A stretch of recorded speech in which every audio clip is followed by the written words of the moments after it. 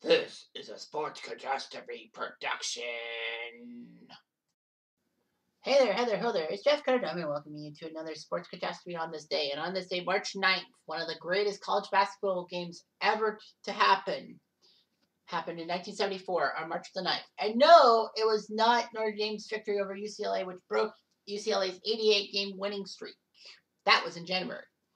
I'm talking about NC State, Maryland in the ACC Championship in 1974. A lot of you would probably say, What the heck are you talking about, Cutter? Well, simple.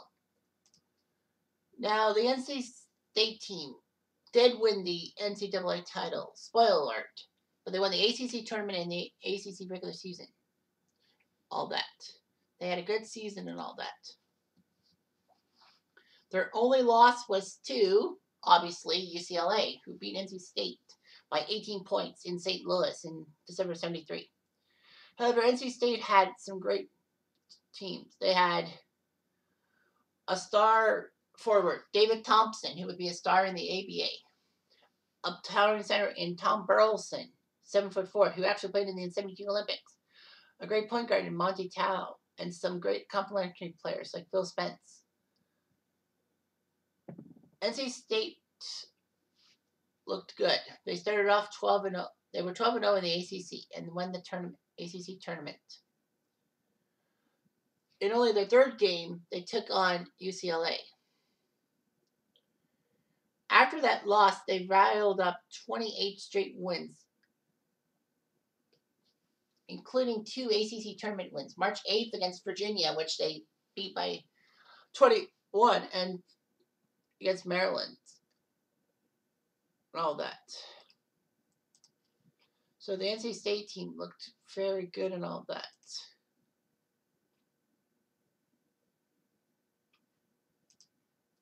So the 74 ACC men's tournament happened.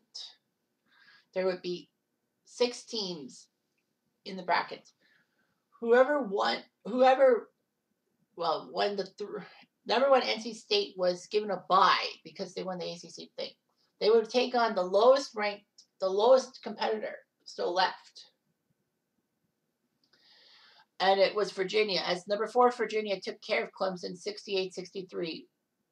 Number four, Maryland, number four in the world, uh, Maryland took down Duke, and NC and North Carolina took down Wake Forest. So basically, no major upsets. In the second semifinal, in the in the semifinals, NC State beat Virginia by 21, like I said. And Maryland, the number four team in the nation, beat the number six team in the nation, North Carolina, by 20. But NC State's huge win over Maryland will not be forgotten. The big match between NC State and Maryland set the precedence. Maryland had six future NBA picks and was considered the greatest team that did not participate in the NCAA tournament. And a lot of people said this was the game of the century until Duke's win over Kentucky in the East Regional Final in 92. And all that. So, yeah, so basically, the, it was an overtime match that was huge. It was really huge. Who knew?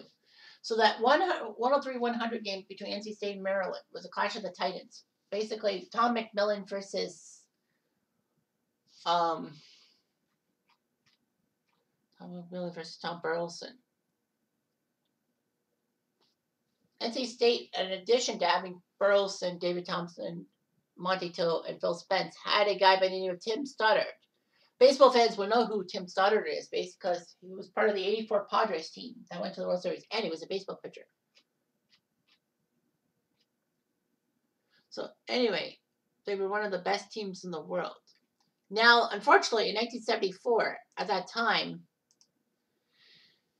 it was basically one team per conference. Basically, you win your um, your conference tournament, you're basically in and all that.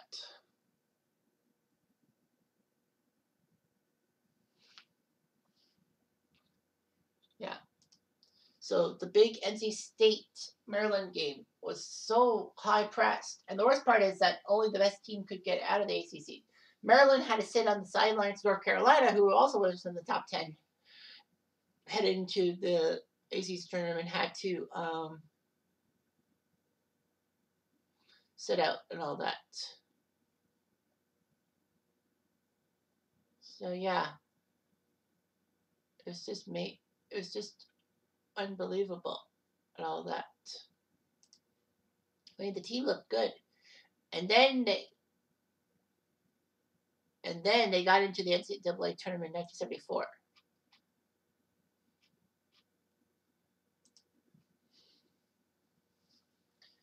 In the East region, they took care. They were they waited for the winner of Providence versus Penn. They got a bye into the second round. So in the East Regional semifinals, they took on Providence and beat them by 14, and then beat Pittsburgh by 28.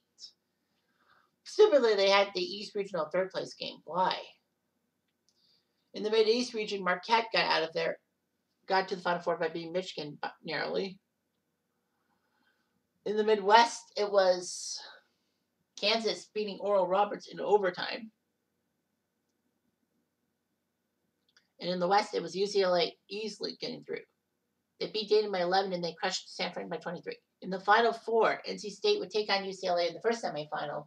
And man, it was epic. Just as epic as the NC State Maryland ACC title game. NC State would go on to win in double overtime, 80 to 77, knocking off UCLA and ensuring for the first time in eight years there would be a NCAA champion not named UCLA. Marquette would take down Kansas in the other semifinal. UCLA did take third place from Kansas, but doesn't friggin' matter. As NC State crushed Marquette and Divine Powder by 12 points to win the national championship. Basically put, the 19, that 1974 UCLA, I mean NC State Maryland game was instrumental in the NCAA changing their their minds about conference champions and independents could participate in the tournament. They decided in 1975 to expand the field to have at-large bids for conference runners-up. So basically, Maryland would have got into the tournament if they went with that format. But it, it was terrible and all that.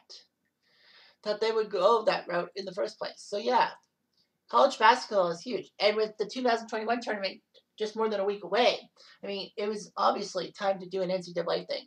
And you know, this was a this was very underrated. I mean, NC State won the freaking national championship over UCLA. Well, they beat UCLA, the legends. And man, this was huge. Tom Burleson was drafted by Seattle, third overall in the NBA draft. So that's good. I say that. You got to give college basketball some love and all that. Hopefully, the Christian Laettner shot is one of the best ones I can find and do it on this day. But we can all hope. I'm Jeff Diamond. I'll do.